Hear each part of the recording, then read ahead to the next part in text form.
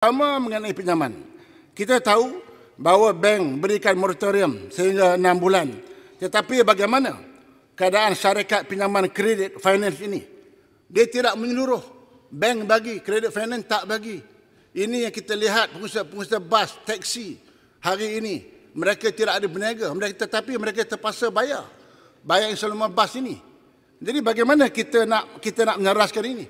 Bukan saja agensi-agensi bukan saja saya kata kredit finance ah, dan juga bank tetapi kita lihat agensi-agensi kerajaan juga tidak selaras.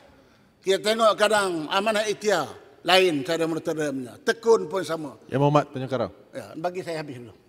Hmm. Jadi ini yang yang yang yang kita yang kita kena lihat. Mungkin kerajaan kata tidak ada kuasa. Tidak ada kuasa kita nak campur tangan urusan Uh, apa ni bank dan juga syarikat-syarikat finance ini. Tetapi kita kena ingat uh, termasuklah pinjaman syarikat-syarikat pinjaman wang berlesen ini. Memanglah dia ada akta mereka sendiri. Kerajaan tak ada tak ada kuasa nak campur tangan. Nak arah pun mungkin mereka tak mau ikut. Tapi kita kena ingat kuasa. Kuasa yang membagi lesen ialah kuasa kerajaan. Apa salahnya panggil kredit-kredit finance ini bagi tahu mereka minta kita sama dengan mereka termasuklah peminjam wang Malaysia, Menteri KPKT boleh panggil mereka. Panggil mereka. Kalau mereka tak membagi sama dengan kita, kena ingat kelulusan ini siapa yang bagi? Lesen kelulusan ini kita yang bagi, kerajaan yang bagi. Kalau waktu kerajaan susah minta tolong dengan mereka, mereka tidak hiraukan kita, satu kuasa mesti kita gunakan. Sebab kita orang, bila kita ada power, kita mesti powerful. Ada wealth, we are full lah. Malah nak sebut, nanti kena suruh tarik pula. Faham-faham sudah lah.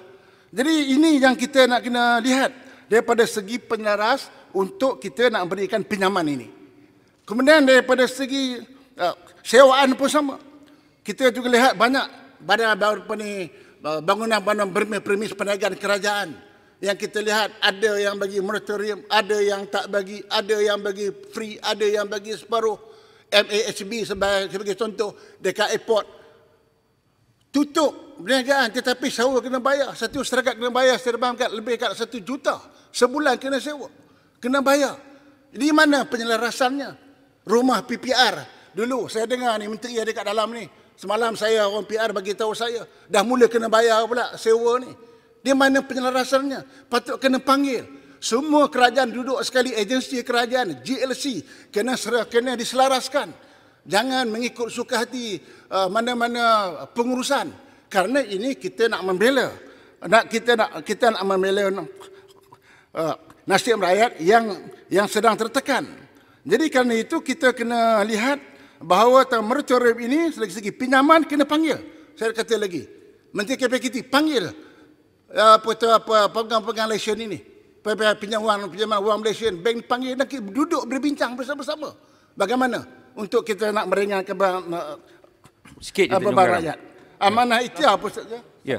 Mohon uh, tekun tekun amanah ikhtiar ya. sewa premis niaga majlis daerah dan PUNB di bawah ya. yang berhormat sebagai pengusi. Ya. Saya PUNB, saya kena ikhlas. Saya pengusi. Saya dah umum, saya bagi free. Kita kita, kita bukan bagi kita bagi moratorium apa ni pinjaman bagi kita dah sambung tak perlu bayar dan juga premi-premi perniagaan. Ada 288 pun kita telah pun bagikan moratorium. Kena bagi Tanjung Karang jadi menteri. Ke, uh, eh, Muhammad Tanjung Karang, nak bantu berkenaan pemandu bas. Ada persatuan membuat laporan polis tidak mendapat bantuan.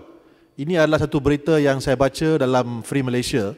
Ketua Persatuan Gabungan Pengusaha Bas Persiaran Zon Utara, Ahmad Roslan Abdul Latif berkata, mereka terpaksa buat laporan polis kerana tidak mendapat sebarang bantuan. Jadi saya juga menyokong perbahasan Tanjung Karang supaya pengusaha-pengusaha bas diberi perhatian dan apa juga bantuan kewangan yang boleh diberikan disalurkan dengan seberapa cepat yang mungkin.